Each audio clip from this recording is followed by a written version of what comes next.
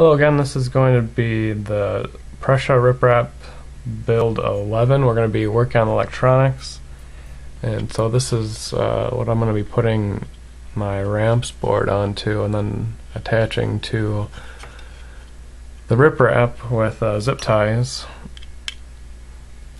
And now, and I cut some of these uh, nylon spacers just to lift up a little the ramps off of the board because I'm planning on later to uh, put a fan next to it if it gets too hot.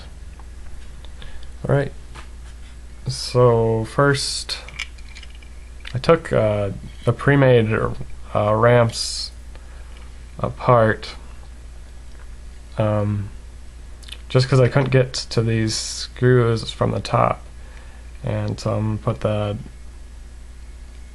uh, number four inch or three quarter inch long screws and then put the nylon spacer there and then put the board underneath that and then uh, tighten that up.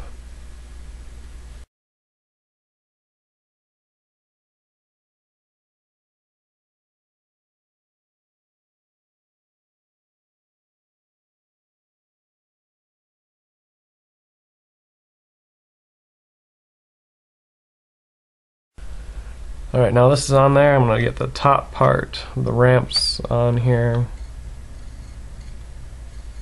And when I took this off, I kind of bent this bottom piece right there. You can see it.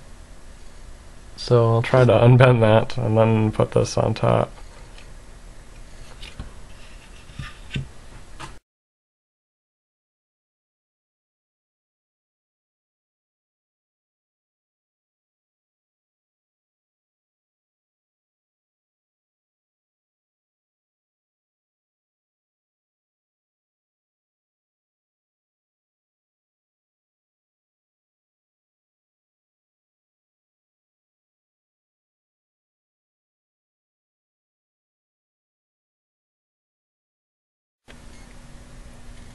Alright, so here's the ramps with the board I made uh, installed onto the RepRap.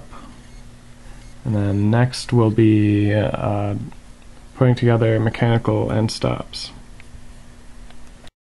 Okay, so this is UltiMachine uh, wiring and uh, mechanical end stops that came with uh, ramps and I have to thank them so many times for already having these pre-crimped so I don't have to do any soldering at all uh, for all the end stops. Um, one thing that's uh, I questioned though is the the holes to screw into into these are so tiny that not even my M3s will go through it and that's the smallest besides uh, number 4 screws that I can find locally. So I don't know how they wanted uh, these screwed in. I heard gluing, but I don't really want to glue it just in case I want to change something.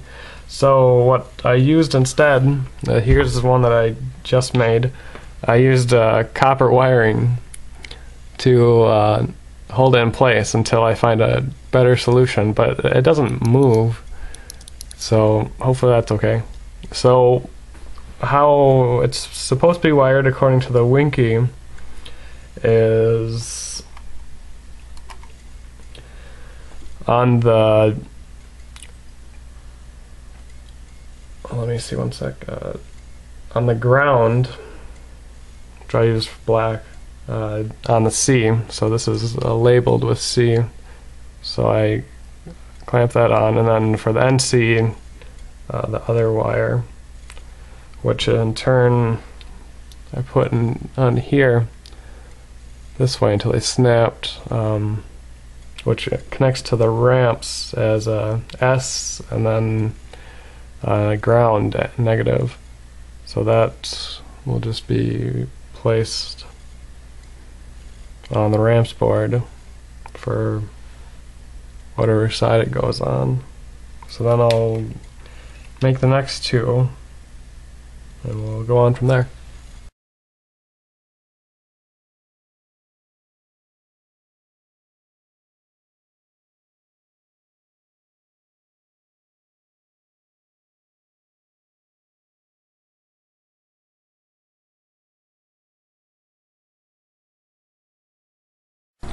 So what you just saw me do is uh, twist these wires so that so they stay together. Look how nice that is compared to them going all over the place. And then next, um, what I have to do so the copper wire works um, is on here. As you can see, it, uh, it doesn't line up with the holes at all.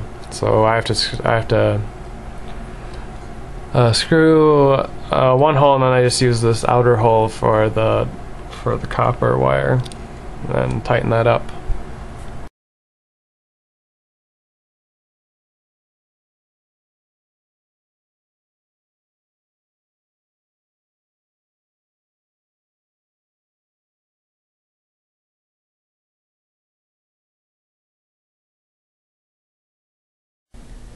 Alright, now I put in the end stops now. There's my back one.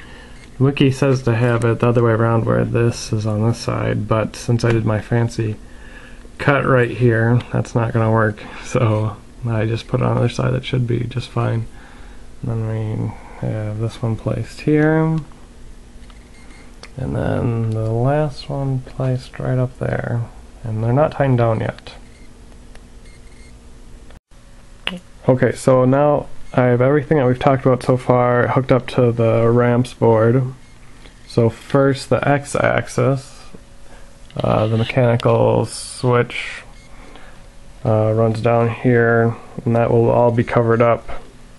And that is the very first one that's hooked up to our uh, ramps board here. And then we skip a slot and the next one is the y-axis which is right back there. And that one goes uh, the wiring goes underneath and comes up and around and goes right there. Then we skip another one and the next one is the Z the Z mechanical switch which is right there. And that goes around to right there. And then here's all the wiring so far. It's quite a mess and then uh, next video we'll be talking about the power supply.